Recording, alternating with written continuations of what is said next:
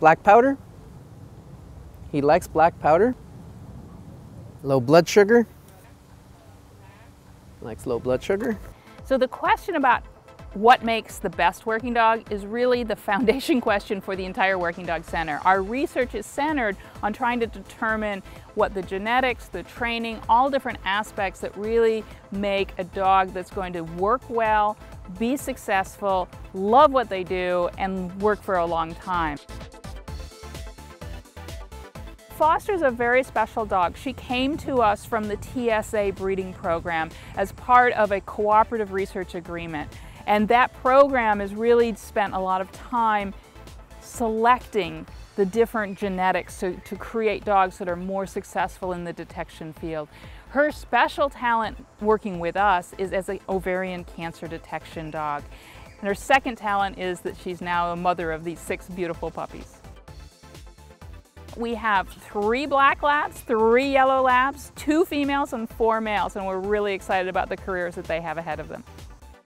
These puppies are part of our research program as well, so we're trying to learn from them and uh, obtain as much data as possible. He's a fan of arson. We have vet students who are spending the summer with us doing research. We have interns and co-op students. We have volunteers. And all of that is geared towards helping us capture data and so that we can monitor their progress and look back and look at maybe how this test that we did today predicts their success in a year. So all of that's really helping with the research. First odor, black powder. Different. The first thing that we did with them today is a scent introduction. And we've been doing that with them since they've been about three weeks old. Likes low blood sugar.